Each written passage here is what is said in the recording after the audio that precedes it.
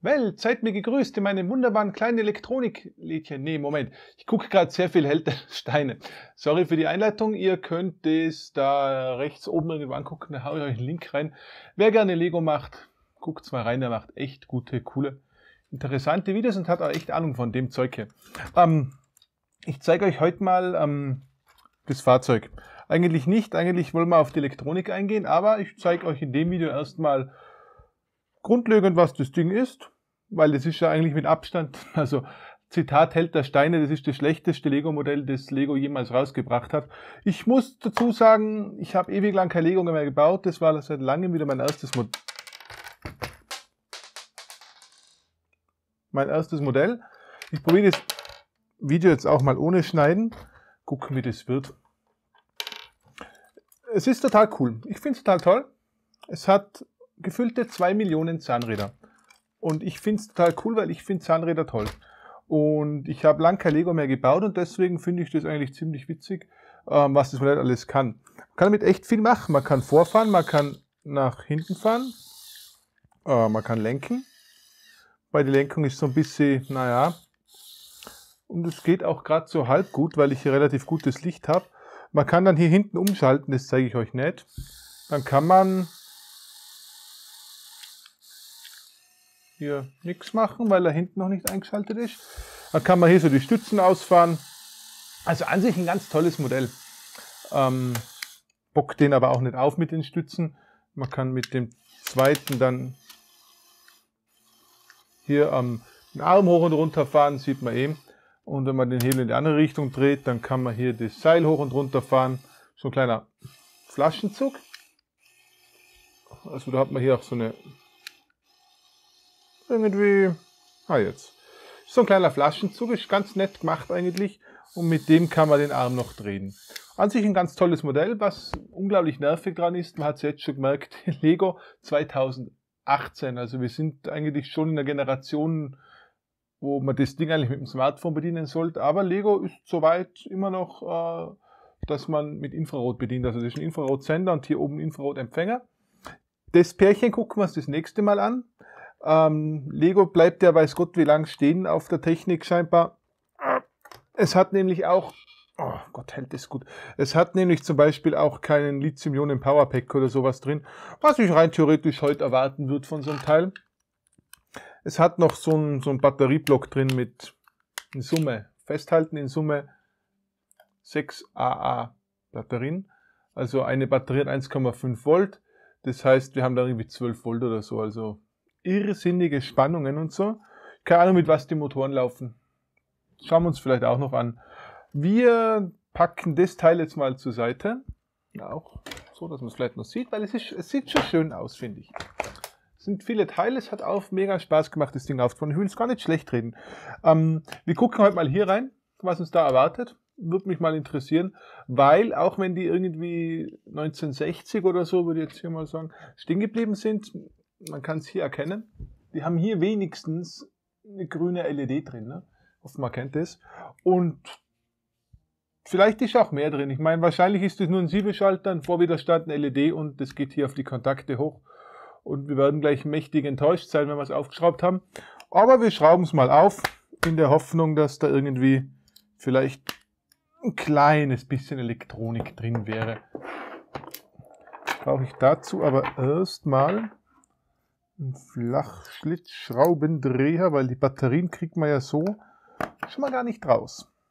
Warum denn auch? Hm? Geht das Ganze irgendwie... Nee. Ah, die ist da gut drin. Die ist da richtig unten reingesteckt.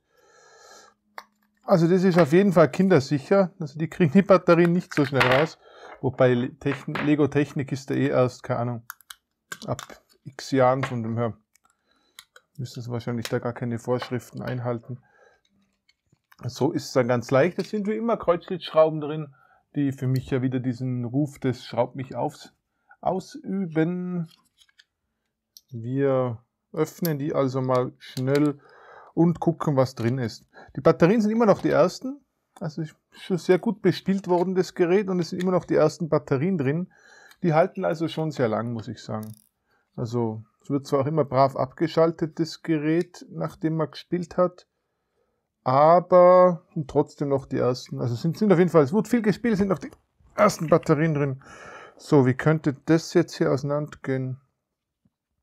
Ah, bitte zwei Schrauben raus und das sieht eigentlich so aus, das Ding, als könnte man es nach unten rausschieben. Geht hier der Schalter geht nicht ab. Ähm, der ist, glaube ich, hier eingespritzt und müsste aber innen drin dann auf einen entsprechenden Raster greifen. Vielleicht muss man hier kurz raushebeln, dass unten geklippt ist und oben geschraubt. Schauen wir uns mal an. Muss ja so ein bisschen kindersicher, muss ja schon verbaut werden, das Ganze. Also irgendwo hat es gerade Klack gemacht, es ist definitiv irgendwo verklippt. Oder haben sie irgendwo Schrauben versteckt? Nee, eigentlich nicht.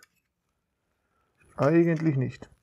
Ich glaube, das mit ich schneide nicht äh, verwerfe ich jetzt in diesem Moment und werde dennoch schneiden, weil es dauert mir sonst zu lang hier. So, haben wir schon. Ah ja, okay. Da oben hängt das Ganze irgendwo noch fest. So, jetzt. Ja, die Hoffnung war vergebens, würde ich jetzt mal sagen. Aber man kann sich das jetzt mal hier angucken. Schon sehr schick gelöst, möchte ich jetzt gerade mal sagen. Also, so von der, da ist ein bisschen Fett drin, so Kontaktschmiere quasi. Also wir haben hier quasi die Kontakte, die die Verbindung zwischen den Batterien herstellen. Und obendrauf haben wir tatsächlich eine Platine. Und da werde ich jetzt ein Foto machen und dann auf dem Foto hier den Text nehmen, wo ich es gerade erkläre. Wir haben hier auf der Platine einmal eine LED drauf, D1, Telego Group, Copyright 2013. Also 2013 habe ich das Ding überarbeitet. Wir haben einen Widerstand drauf, der wahrscheinlich der Vorwiderstand sein wird. Und wir haben sogar erschreckenderweise einen Kondensator drauf. Damit hätte ich jetzt nicht gerechnet. Die Batterien an sich sind, wenn die so drin hängt, geht hier Plus auf Minus, hier geht auch wieder Plus auf Minus. Die hängen alle komplett in Serie drin. Das heißt, ähm, wir haben hier tatsächlich, hier unten ist nichts mehr. Wir haben hier tatsächlich 12 Volt. Die hängen alle in Serie zusammen. Jetzt muss ich gerade hier nochmal rausziehen. Hier unten befindet sich nämlich auch noch was. Äh, und zwar haben wir hier unten noch ein Bauteil drin, gut versteckt mit so einem Isolierteil zwischen den Pins, weil der ist da komplett lieblos frei drin hängend. Das Teil sieht aus wie ein PTC, positiver Temperaturkoeffizienzwiderstand. Ähm, gehe ich jetzt mal stark von aus. Das wäre quasi ein Widerstand. Wenn mehr Strom fließt, wird der wärmer und erhöht seinen Widerstand, wodurch mehr Strom fließt und der wärmer wird und seinen Widerstand erhöht und so weiter. Also quasi, oh, das muss ich jetzt wieder richtig zusammenbauen. Quasi eine Temperatursicherung. Wenn man jetzt einen Kurzschluss drin hätte, dass der Strom der Batterien nicht dazu führt, dass hier irgendwas ähm, schmilzt, brennt, was auch immer. So, jetzt habe ich diese Isolierung aber so reingemacht, dass äh, nicht zwischen den Kontakten sich befindet. Also Lego, da so ein kleines Stück Schrumpfschlauch drüber, das wäre vielleicht auch nicht zu viel verlangt. Oder einfach diesen PTC oben auf die Platine drauf, so wie ich es bei all meinen Platinen mache. Dann müsste ich mich jetzt hier nicht ärgern. Ich krieg's nicht mehr raus, nie wieder. Dann müsste ich mich jetzt hier nicht ärgern mit dem Teil. Genau, ansonsten war es das. Viel mehr ist da nicht drin. Habe ich mir fast gedacht, dass das total unspektakulär wird. Wenn ich jetzt den abbreche, dann habe ich ein Problem. Und zwar ein richtiges Problem. So. Ja, Leute, das war's schon. Nächste Woche schauen wir uns den Infrarotempfänger an. Da wird hoffentlich, inständige Hoffnung von mir, irgendwie ein Controller drin sein, der die Infrarotgeschichte übernimmt. Also im Übrigen dieser Kontaktteil da oben, da ist so ein Lego-Kontaktteil, wo man dann quasi den LKW anschließt. Ähm, der ist über ein Kabel drauf gemacht. Also der ist direkt mit dem Kabel da damit verbunden quasi und hat dann hier zwei Nasen, wo er einrastet.